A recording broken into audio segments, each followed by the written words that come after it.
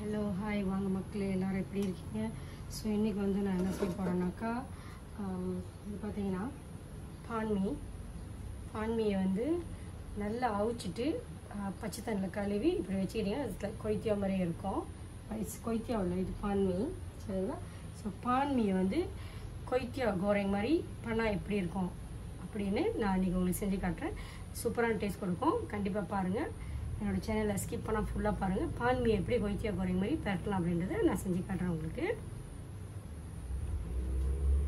கொஞ்சமாக எண்ணெய் விட்டு இந்த மாதிரி சூடையர் விட்டுக்குங்க. சூடையர் விட்டுட்டு அஞ்சுலேருந்து ஆறு பல் பூண்டு அப்படி இடிக்கல்ல தட்டி வச்சுருக்கேன் ஒரு சின்ன வெங்காயம் இடிக்கல்ல தட்டி வச்சுருக்கேன் மிளகா தெரிஞ்சுக்கலாம் மக்களே. ஓகே? இது பெரிய மிளகா. ஒவ்வொரு பீஸ் சின்ன சின்னதாக வெட்டி வச்சுருக்கேன். இது வந்து மூணு ஊசி மிளகா. இது வந்து மூணையும் சின்னதாக அப்படியே லேசாக தட்டி வச்சுருக்கேன். ஸோ இந்த பூண்டு முதல்ல என்ன பண்ணணும்? பூண்டு வெங்காயம் மட்டும் நான் போடுறேன்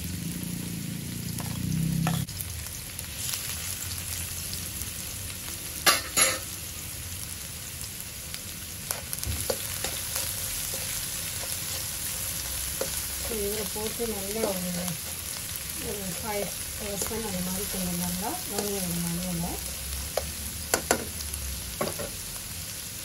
இது வதங்குற வரைக்கும் உங்களுக்கு நான் காட்டுறேன். அதுக்கு என்னென்ன பொருள் அப்படின்னு. மூணு ஏக மூணு முட்டை.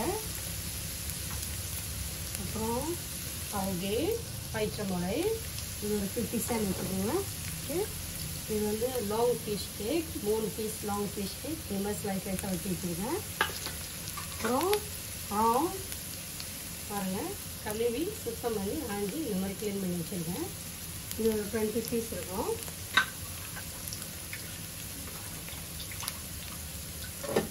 ஓகேங்களா பாருங்கள் இது ஒரு நல்லா ஒரு ஃபைவ் பர்சன்ட் பொருந்தி வந்துட்டாரு இப்போ நான் என்ன பண்ணுறேன்னா இந்த சில்லி மூணே மூணு ஸ்பைஸ் சில்லி வச்சுருக்கல அது வந்து நான் வந்து போட்டுடுறேன்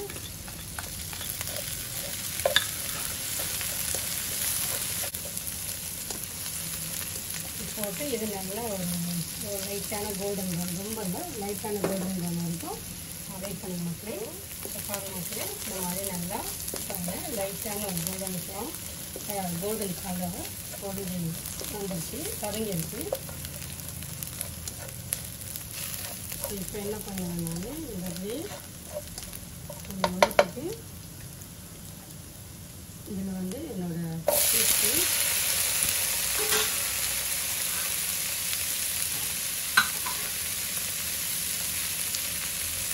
and prawn.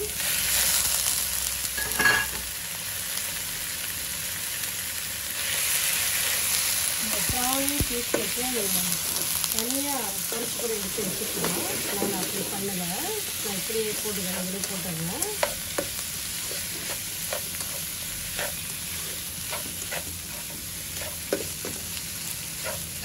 இதுலேயே போட்டு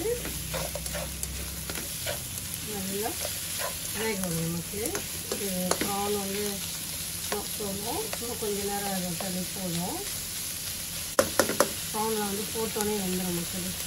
சும்மா கொஞ்சம் ஒரு டூ டு த்ரீ மினிட்ஸ் ரொம்ப நீங்கள் வேக வைக்கணும் அவசியம் இல்லை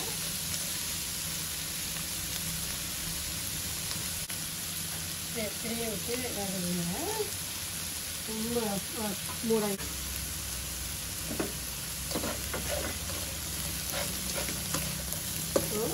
இதெல்லாம் நல்லா வெந்த பிறகு நீங்கள் என்ன பண்ணுங்க இப்போ என்ன பண்ணுங்க அணில் குறைச்சிட்டு எல்லாத்தையும் ஒரு சின்ன பவுல் ஒரு பவுலில் எடுத்து வச்சுக்கணும் இந்த மாதிரி. இந்த மாதிரி ஒரு பவுலில் கொஞ்சம் எடுத்து வச்சுக்கோங்க.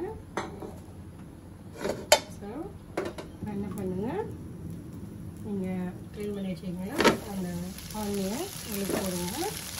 நான் அளவு குறைச்சிக்கலாம் நமக்கு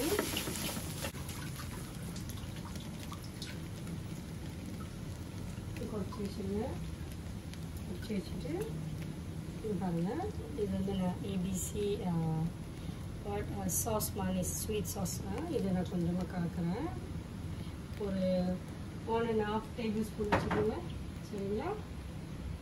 இது வந்து திக் கேரமோ இவரும் வந்து இவரும் வந்து like one and half tablespoon ஒரு ஒன் டேபிள் ஸ்பூன் ஆல்சோ இன்னஃபாக போட்டுக்கிறேன் போட்டுக்கிட்டு லைட் சோயா சாஸ் இதுவும் ஒரு டூ டேபிள் ஸ்பூன் போட்டுக்கோங்க. போட்டுட்டு இவங்க எல்லாத்தையும் நல்லா கிண்டி விடணும் மக்களே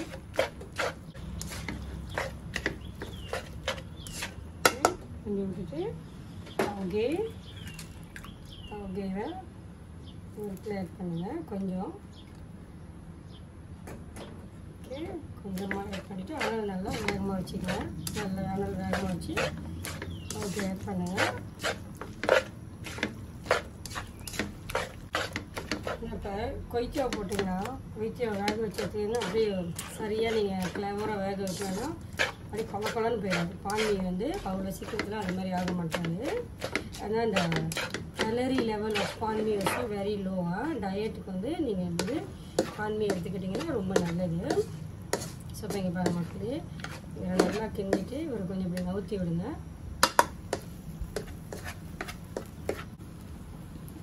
இந்த சைட்டில் கொஞ்சம் நவுத்தி வச்சுட்டு கொஞ்சமாக எண்ணெய் விடுங்க. ஸோ இது வந்து நான் நெத்திலி பொறிச்சேன் எண்ணெய் நேற்று இடி துவையல் செஞ்சோம். நம்ம அதோட நெத்திலி பிடிச்சது கொஞ்சமாக எண்ணெய் விட்டுக்குங்க. எண்ணெய் விட்டு அடுப்பு நல்லா இப்படி வச்சுக்கோங்க. இந்த எண்ணெய் இருக்கிற இடமா பார்த்து வச்சுக்கோங்க. இதை சொல்லிட்டு இந்த இடத்துல முட்டையை குறைச்சி ஊற்றுங்க மூணு முட்டை சொன்னாலும்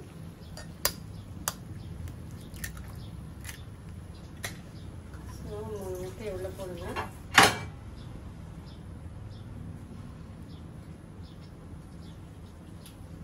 ஸோ அந்த மூணு முட்டை நல்லா வேகணும். ரொம்ப வேக விடாதீங்க ஸ்லைட்டாக இப்படி கிண்டிக்கிட்டே இருங்க.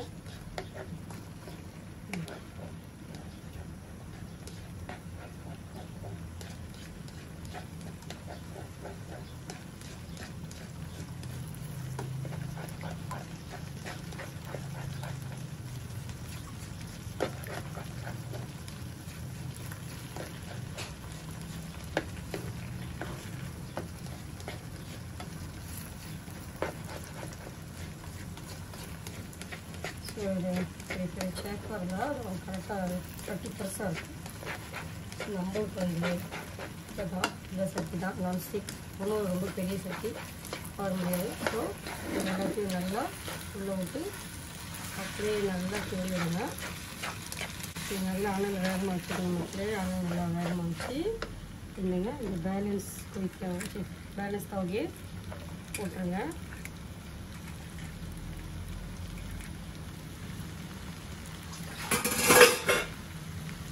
அப்புறம் கொஞ்சம் முதல்ல பிக்கப் பண்ணிட்டீங்கன்னா அவங்களே எனக்கு உள்ள போட்டுருங்க.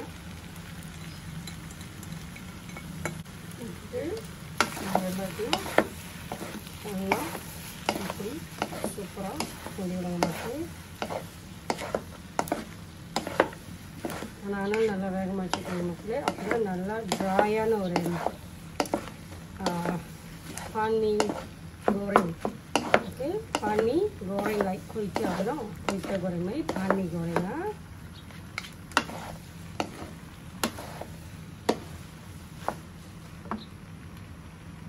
எனக்கு வந்து இன்னும் கொஞ்சம் டார்க்காக லைட்டாக டார்க்காக இருந்தால் நல்லாயிருக்கும்னு தோணும் மக்களே பொமி ஸோ உங்களுக்கு போதுன்றவங்களுக்கு நோனிட்டு வேணா திஸ் இஸ் ஒரு லிட்டில் பீட் மோர் டார்க்காக இந்த கலர் வாய்ஸாக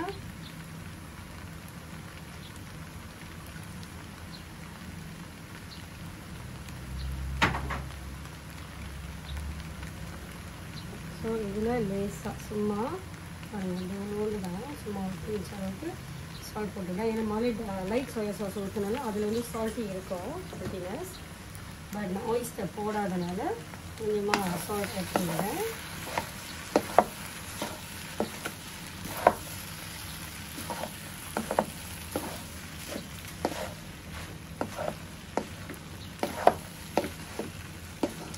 ஸோ கொஞ்சம் ப்ரான் வந்து முதல்ல கொஞ்சம் லைட்டாக வேக வச்சு எடுத்துக்கிட்டாங்க. ஸோ இந்த சூட்டில் திருப்பி போட்டு கிண்டணுமோ அவர் இன்னும் கொஞ்சம் நல்லா வெந்துடுவார் பட் ஆனால் கரெக்டாக வெந்துருப்பார். ரொம்ப வேக விட்டிங்கன்னா அப்படியே கெட்டா மாதிரி ஆயிடுவார். ப்ரான் நல்லா இருக்காது. நல்லா அனல் வேகமாக வச்சு கிண்டி விடுங்க. அப்போ தான் எண்ணெயாக இல்லாமல் தண்ணியாக இல்லாமல் நல்லா ட்ராயாக வரும். ஸோ இந்த மாதிரி பிள்ளைங்களுக்கு காலையில் பசியார் செஞ்சு கொடுக்கலாம். ஸோ இது வந்து இன்றைக்கி லஞ்ச் நம்மளுக்கு. ஏன்னா பிள்ளைங்களாம் சோறு வேணாம் சோறு வேணாம் சொல்கிறாங்க ஒரே ஒரு பாப்பா மட்டும் தான் மகன் மட்டும்தான் சாப்பிட்றோம் ஸோ ஆனால் அதை குளிக்க போகிறேன் கொஞ்சம் எக்ஸ்ட்ரா சாப்பிட்றோம் அது என்ன வச்சாலும் சாப்பிட்றோம் பாய் ஒருத்தர் இருக்காரு. பாருங்கள் முதல்ல வெள்ளி வெட்டி வச்ச சில்லியா? இப்போ நம்ம மிளை ஸ்டைல்னால் அவங்க என்ன பண்ணுவாங்க? கடைசியாக போடுவாங்க. சர்வ் பண்ணும்போது போட்டுருவாங்க. நம்ம வந்து அப்படி பண்ணலை.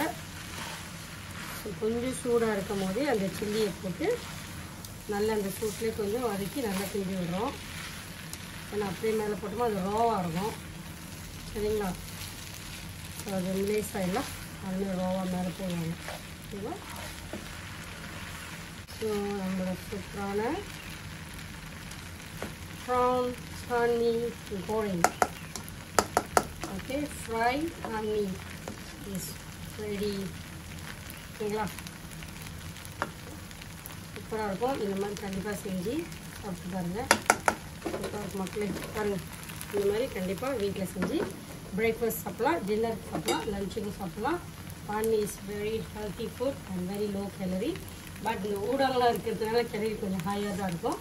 டயட் பண்ணுறது வந்து ஊடகம் ஒரு டூ பீசஸ் எடுத்துக்கலாம். ஏன்னா அது வந்து very good so not diet நல்லா சாப்பிட்லாம். சரிங்களா? Okay, my pan mee goreng is ready to eat.